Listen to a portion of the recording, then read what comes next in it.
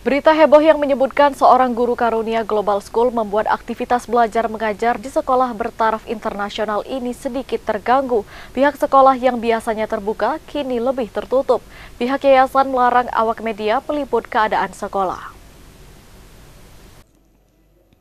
WDZ, seorang guru perempuan di Karunia Global School atau KGS, harus menjalani pemeriksaan intensif di ruang isolasi RSUD Raden Matahir.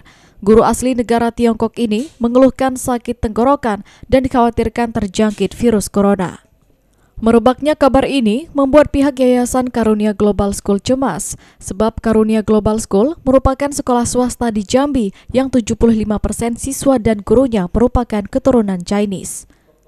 Terlebih satu guru harus diisolasi dan dilakukan pemeriksaan usai melakukan pulang kampung dan melakukan perjalanan di kota Wuhan, tempat penyebaran virus corona. Pantauan Jack TV, meski pemberitaan tersebut saat ini heboh, namun aktivitas belajar mengajar di KGS Jambi tetap aktif berlangsung seperti biasa. Hanya saja awak media tidak diperbolehkan masuk di lingkungan sekolah tersebut. Menurut pihak sekolah, aktivitas belajar mengajar di KGS Jambi berlangsung aktif seperti biasanya. Informasi tersebut didapat dari salah satu satpam sekolah.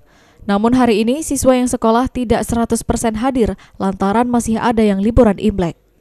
Sementara ketika tim Jack TV mencoba menghubungi manajemen KGS Jambi, Lius Iman Santoso Ciputra mengaku enggan diwawancara. Pihak sekolah hanya membenarkan guru yang diisolasi merupakan guru karunia Global School.